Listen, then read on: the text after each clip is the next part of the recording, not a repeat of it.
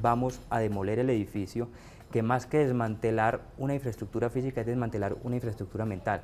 Queremos que aquí ya no esté el edificio Mónaco para darle lugar a un espacio público, que sería el primer espacio público en la ciudad donde podríamos hacerle memoria a las víctimas.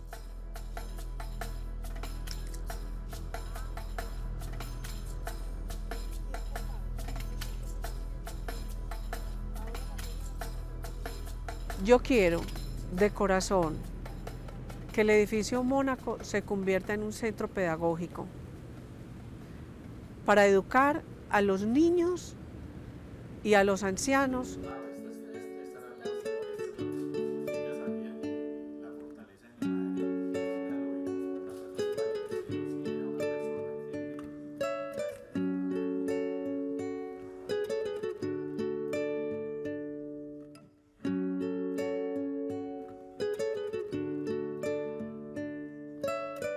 Tener un espacio de, para hacer memoria es un espacio para intentar resarcir simbólicamente a los que somos víctimas de este flagelo del narcotráfico.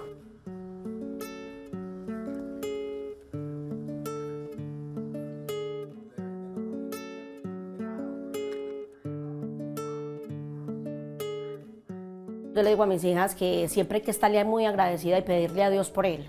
para que él desde donde esté nos guíe y nos ayude y tanto a nosotros como a toda la gente de este barrio.